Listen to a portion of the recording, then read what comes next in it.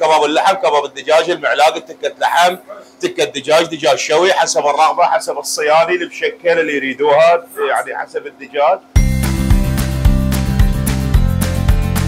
والله بعد ما صارت الأحداث نزحت التركيا ورجعت التركيا لقيت آه، ما أملك كل شيء يعني ال- ال- البيت الشخصي والمطعم الشخصي اللي عايش أنا من كله صفر يعني يعني عبارة عن شيء دمار دمار يعني ما بي أي فائده ورغم حتى ال- الأجهزة ال- يعني نقول مال العمل اللي نشتغل بها مثل المكاين أو العدات الكاملة البرادات هاي كلها ما موجودة.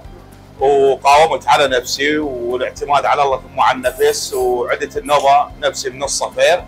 رغم العمل مو ذاك يعني التطور القوي من ناحية الأجهزة.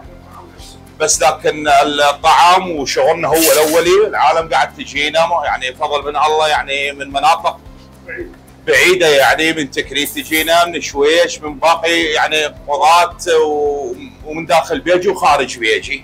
طبعا طبعا عندي أنا الإعاقة أول شيء يعني الحمد لله والشكر صار أكثر إصابتي صار عواقي بالاحداث مال 2003 وصار عندي بترساق فوق الركبة.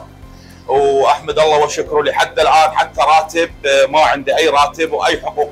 ما أستملك خلاص. آه هذا الموضوع آه يعني هيك استحبيته حقيقة لأن قلت لك العيشة صعبة فما قدرت أشتغل غير هالشغلة هاي. لا تدري أنا معاق يعني مو مثل باقي واحد يقدر يشتغل حمالة أو يقدر يشتغل عمالة أو يقدر يشتغل بغير أمور.